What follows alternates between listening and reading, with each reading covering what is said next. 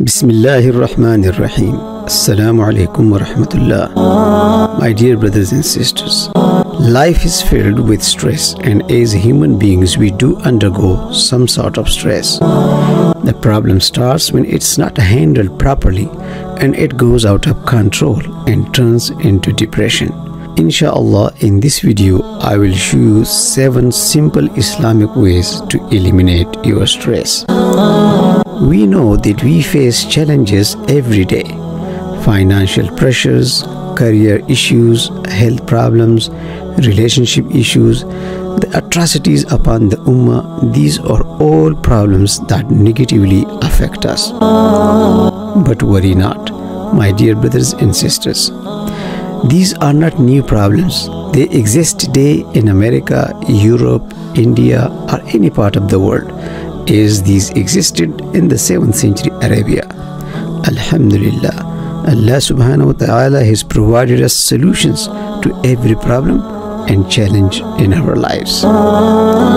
Dear brothers and sisters, two things before we proceed further. First, watch the video till the end with good intention to be rewarded for your time. Don't listen to the whispers of shaitan. Second, understand and take action to implement each step in your life. Remember, Allah changes only those who change themselves. Number one, He listens. Speak to Him. Yes, He is Al Sami, the listener. He is the one who always listens to His slave. Speak to Him transform every anxiety, fear, and concern into a supplication. Consider these moments as opportunities to submit to Allah, finding comfort in prostration where you are closest to Allah. Although Allah already knows your heart, expressing your desires through supplication is an act of submission that He encourages. The Prophet ﷺ emphasized the importance of seeking help from Allah, stating that those who do not ask Him for anything incur Allah's displeasure. Being specific in your supplications is encouraged by Allah subhanahu wa ta'ala. The Prophet peace and blessing of Allah be upon him, advised believers to ask for precisely what they want, as making vague du'as go against the essence of worship.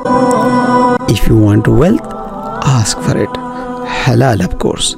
If you want health, ask for it. If you want someone to get married to, ask for it. If you want children, ask for it.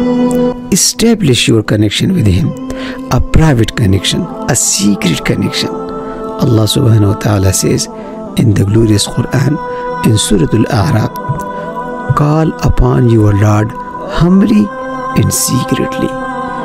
Fear Him, but don't lose hope. In the same surah, Allah subhanahu wa ta'ala says, And call upon Him with hope and fear. Number two, tie your camel. Do your part. In a moment observed by Prophet Muhammad, peace and blessings be upon him, a Bedouin left his camel without tying it. Upon questioning, the Bedouin responded, I put my trust in Allah. The Prophet ﷺ advised, tie your camel first, then put your trust in Allah. It's crucial for Muslims not to adopt fatalism while recognizing that Allah is in control and Has decreed all things, each individual bears the responsibility of making right choices and taking appropriate actions in all aspects of life. Action must be taken to address the challenges faced by oneself, family, and community. As the Quran states, Verily, Allah doesn't change men's condition unless they change their inner selves. Transform worries into du'as and du'as into action plans. This approach demonstrates commitment to request and directs energy towards meaningful solutions. Similarly, Allah subhanahu wa ta'ala says, There is nothing for man except that which he puts efforts for. Yes, we try our best and leave the result and the rest to Allah subhanahu wa ta'ala. Our role, our responsibilities is to put efforts and the results we leave to Allah subhanahu wa ta'ala. Have firm faith that Allah will never waste your effort. Number three, leave the world behind five times.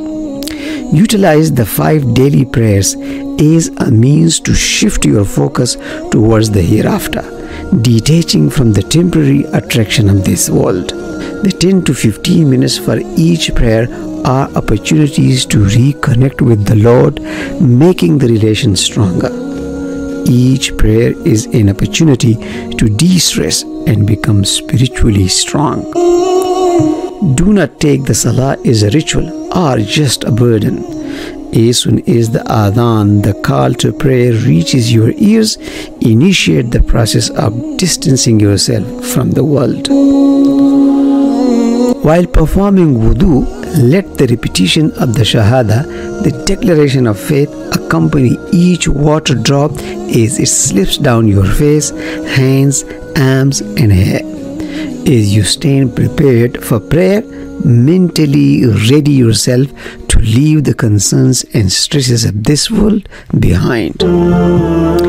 Despite inevitable distractions from shaitan during the prayer, redirect your focus back to Allah whenever interruptions occur. Consider the salah as an anchor that keeps you attached to Allah. The more consistently you return, the greater the reward from Allah. Ensure that your sajdas, your prostrations are sincere and communicative. Moments where you genuinely connect with Allah, seeking His mercy, praising Him, and asking for His forgiveness. Number four, seek help through sabr.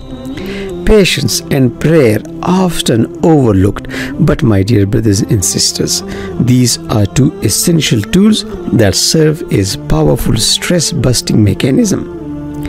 While sabr is commonly translated as patience, its meaning extends beyond mere endurance. It encompasses self control, perseverance, endurance, and a focused struggle to attain one's goals. Unlike patience, which may imply passive acceptance, sabr involves a duty to remain steadfast in the pursuit of objectives, even in the face of seemingly insurmountable challenges. In essence, sabr encourages a positive engagement with life's trials.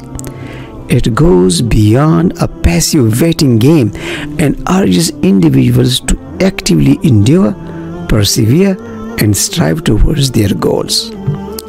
The concept of sabr is a dynamic force equipping believers with the mental and emotional resilience needed to navigate the ups and downs of life.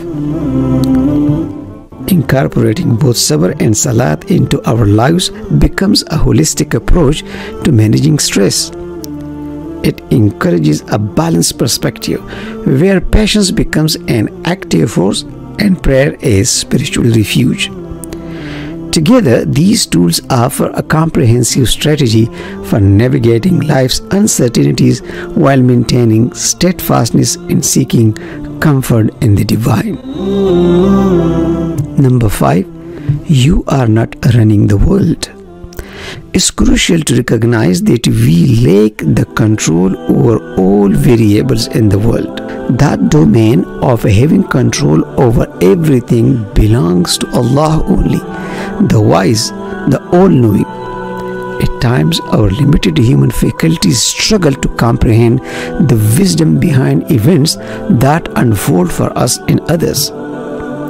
Acknowledging that Allah is in control and as human beings submitting to His will enriches our humanity and deepens our obedience, ubudiyah towards Him. Delve into the story of Musa salam and his encounter with the mysteries behind Allah's decisions. Read, understand, and reflect over the powerful verse of Ayatul Kursi. Allah There is no deity save him, the ever living, the self subsistent fount of all being. Neither slumber overtakes him nor sleep. He encompasses all that is in the heavens and on the earth. Who could intercede with him without his permission? He knows all that is apparent to humans and all that is hidden from them. They can only grasp what He allows.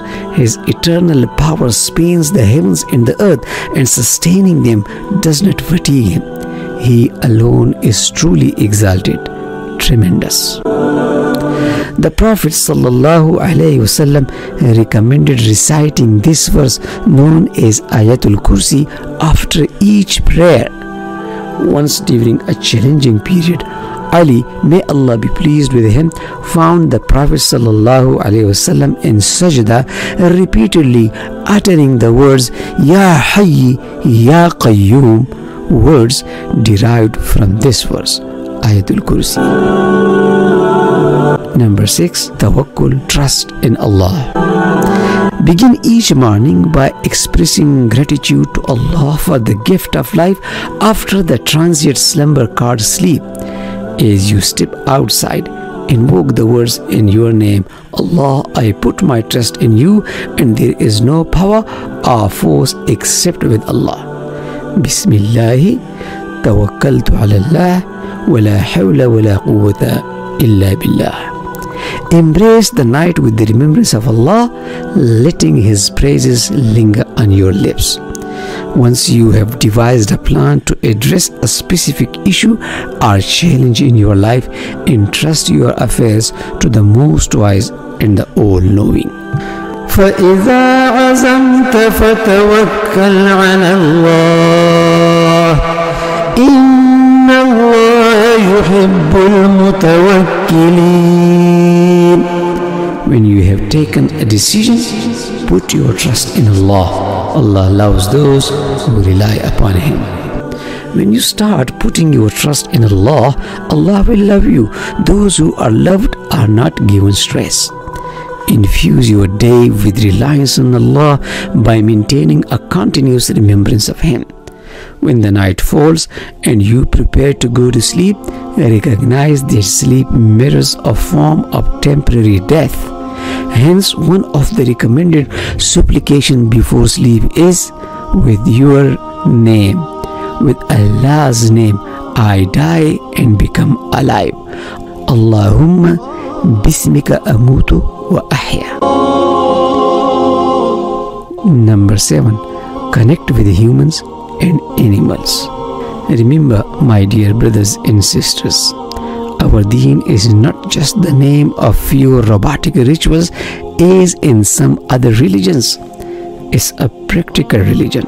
Islam places a significant emphasis on compassion and kindness towards all of Allah's creation. The Quran mentions, and we have not sent you, O Muhammad, except as mercy to the worlds.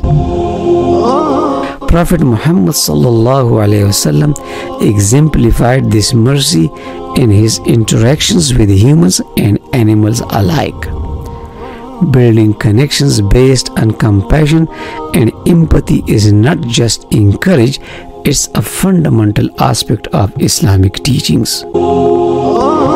In Islam, believers are part of a broader community known as the Ummah. Establishing strong bonds within this community provides emotional support, shared values, and a sense of belonging. The Prophet Muhammad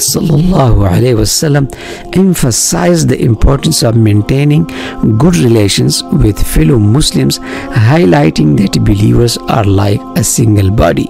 When one part is in pain, the whole body feels it. Allah says in the Quran, and worship Allah and associate nothing with Him, and to parents do good, and to relatives, orphans, the needy, the near neighbor, the neighbor farther away, the companion at your side, the traveler, and those whom your right hand possess. My dear brothers and sisters, every day do something good to others without expecting anything in return except from Allah. It may be something very small, but on a regular basis. Trust me, it will bring so much joy and happiness.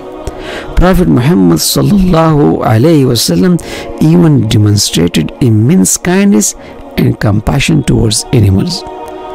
Numerous hadith highlight his interactions with animals from showing kindness to a distressed camel to advising against overburdening animals. Islam acknowledges the therapeutic benefit of connecting with animals. Having pets like cats can provide companionship and alleviate stress.